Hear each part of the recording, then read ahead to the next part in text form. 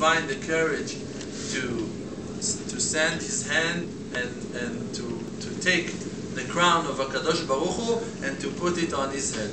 Because when you're putting tefillin, you're not putting your crown on your head.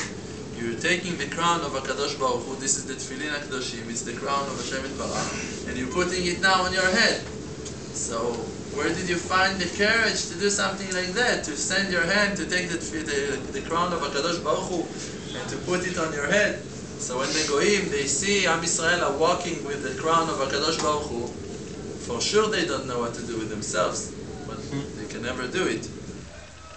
There was one story about a, a, a young boy that his family was uh, making hit bolelut. They, they went out from, from Judaism and they sent that boy to learn in a, in a Public school. no in a minzar. A Notre Dame Monastery. school? A Notre school? Monastery. monastery. So over there he was he was a Talmid Chacham over there. He was a good boy. He was learning. He was good.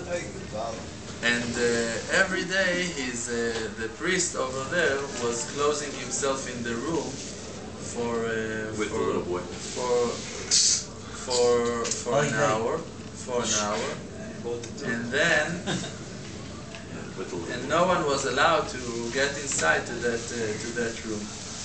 And that young boy, he was Jew, so he was uh, curious. He wanted to see what his uh, teacher doing every day.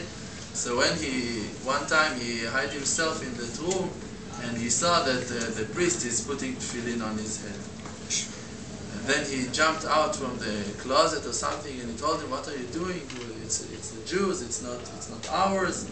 So he told him, "Listen, this is the only way to to achieve kedusha in this world. If someone really want to, to serve Hashem, someone really want to find kedusha, you have to put tefillin every day."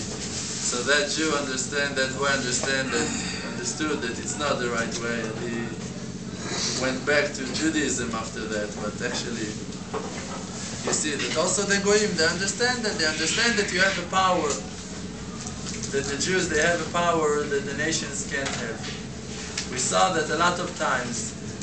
We saw that a lot of times. Power. All right.